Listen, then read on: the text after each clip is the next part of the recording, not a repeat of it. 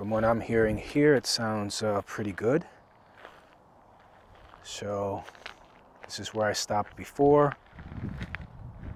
I still get a nice good uh, audio feed.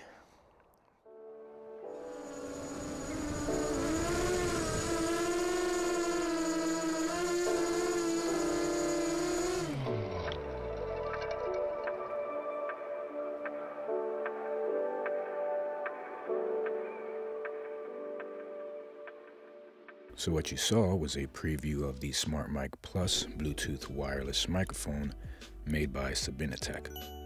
It's a, a, pretty cool mic that's not only good for indoor sound recordings, but for outdoors as well.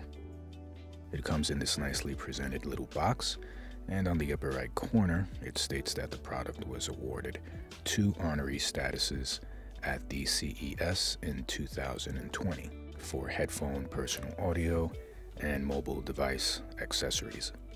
Inside of the box you get the SmartMike Plus device, and here on the side is all of the accessories that come included, which are a mini dead cat, a foam mic cover, a single earphone cable to listen to your audio as you record, a USB to mini USB charging cable, a very small manual that's in English and Chinese only unfortunately, and a quick start guide which is in English, Chinese, French, German, Spanish, Japanese, and Italian. So let's go ahead and check out the mic itself.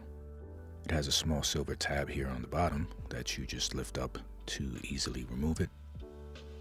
Uh, it does have a sleek looking design, which I like. Uh, this here is the clip to clip it onto the neck of your shirt or on the front pocket of a suit or wherever else uh, you prefer. Over here on the side is the on and off button. On the top of it is the microphone recorder. On the top of that is the earphone jack. Over here is a small indicator light which turns red and blue when it's fully charged and it blinks on and off when it's low on battery. Last on the bottom, you have the mini USB slot for charging it. SmartMike Plus works together with the SmartMike Plus app, which is available on iOS and Android, and you can uh, download that directly from the App Store or Google Play Store. To get started, you first turn on the SmartMike Plus by pressing and holding down on the red button for about 2 to 3 seconds. Now go into your phone's settings and turn on the Bluetooth option and connect to the SmartMike Plus. Now you can open up the app on your device.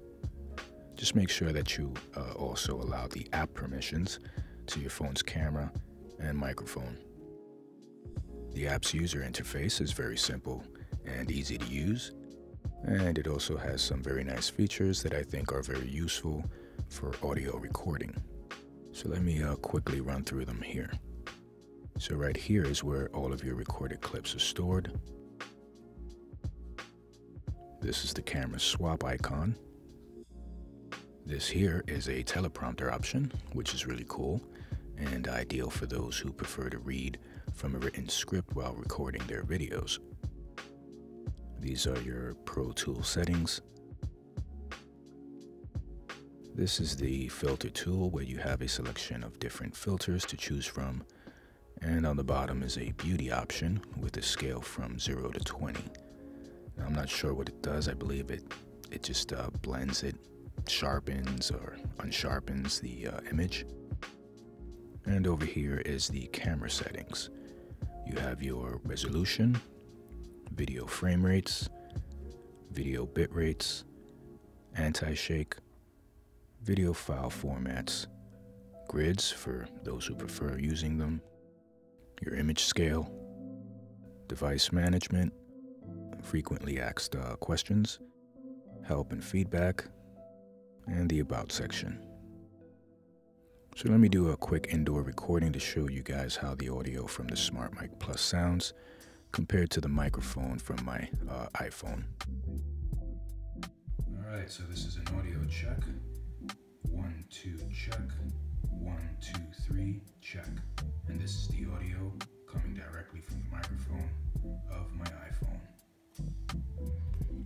Alright, so this is the audio that's going to come out from the SmartMike Plus. I'm going to clip it on and I'll show you guys how it sounds. Audio check, one, two, one, two, three, audio check. This is the audio sound that is coming out directly from the SmartMike Plus indoors. All right, now I'm gonna go ahead and take it outside to do some outdoor audio testing. All right, so here we are outside with the SmartMike Plus. It's kind of uh, windy today again, and I have my phone on a wobbly tripod, unfortunately. Actually, a uh, monopod. Uh, so, yeah, the video might be shaky. But anyway, moving on. I also brought with me the earphone piece so I can monitor the sound coming out from the mic itself. And being that it's windy, I'll do a uh, test with the uh, dead cat. So, yeah. Anyway, let's uh, proceed here. So first I'm gonna do a recording just with the phone so you can hear the difference between the two just like I did indoors. And uh, yeah, let's go ahead and do that. Alright, so I'm going to walk away from the camera one second and uh, just keep on talking to you guys and see how it sounds as I move further away from the uh, microphone on the phone. Alright, so testing, testing one, two.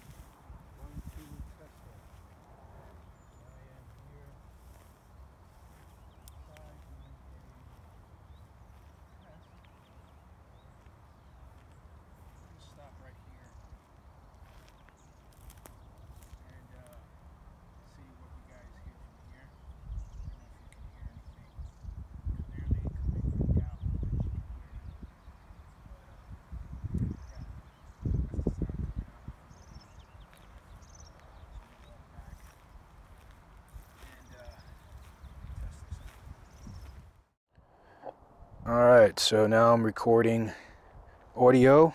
I have the SmartMike Plus set up. Uh, I have it clipped onto my uh, hoodie. So I'm going to go ahead and walk towards the same place that I walked to before and see how it sounds as I walk away from the camera. Alright, here I go. Now this one is without the uh, dead cat mounted on the mic. I also have the earpiece uh, on my ear to monitor the audio. From what I'm hearing here, it sounds uh, pretty good. So this is where I stopped before. I still get a nice good uh, audio feed. I mean, it sounds decent to my ears here. So I'm going to walk further and see how far I can go uh, until the audio cuts out. So I'm going to continue walking here.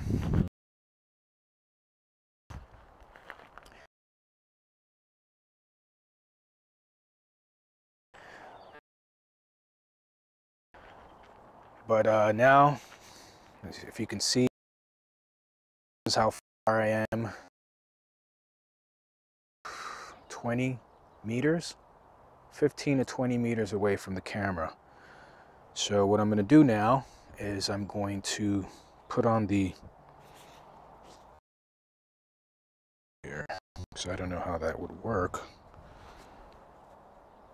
Yeah, I, so unfortunately you can't put on the cover with the earpiece. It's, what I'm going to do is I'm going to remove to put on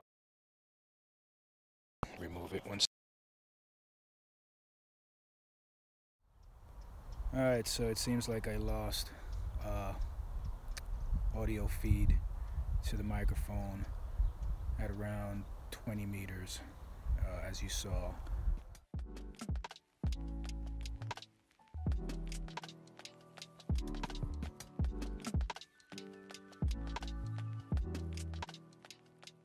Well, there you have it, guys. The SmartMike Plus wireless Bluetooth microphone by Sabinetek.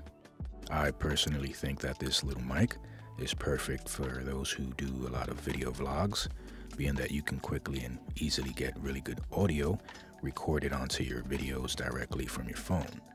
Now, I did notice that indoors, uh, it doesn't sound as clear and crisp as uh, when recording outdoors. The audio sounded a bit, I don't know, uh, robotic with a little bit of distortion to me. But then again, it might just be me. Overall, I did like this mic, and I found the app to be really easy to navigate through and understand, which is uh, very important. I'll definitely be using it from time to time, depending on when I need it. I uh, left a link below in the video description where you can purchase it. Anyway, that one's a wrap. Thank you for watching. Don't forget to hit the like button, share, subscribe, and all of that other stuff. With that said, I'll see you all on the next one.